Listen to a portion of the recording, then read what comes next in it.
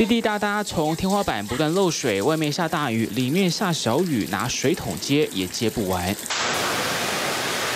家里变成水帘洞，实在是噩梦。其实发现漏水第一步不是直接修缮，而是先拍照录影搜证，包括漏水位置、范围、严重程度及时间。若已造成壁癌、瓷砖油漆剥落、隆起，或造成物品进水等损失，也得一并记录。基本上红外线它不是万能的。下一步出动抓漏，但可不便宜，光是豆腐勘察就要三到五千，按次计算。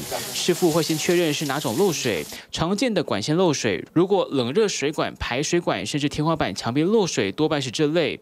要是得打掉墙壁、浴室，可能得准备三十万以上。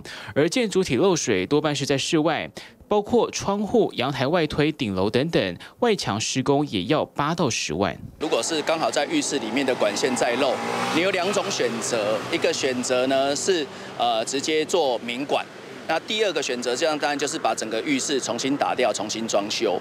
那如果重新装修的费用来讲，现在可能预估来讲，做工料双涨，可能要到三十万的预算。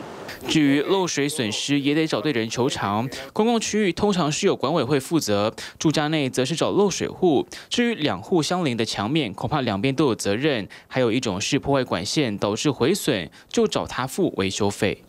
根据公寓大厦管理条例规定呢，如果家中发生漏水问题，得要求进入其他住户家中进行漏水修缮。但如果其他住户拒绝的话，此时也不能强行进入，只能向法院提起诉讼为之。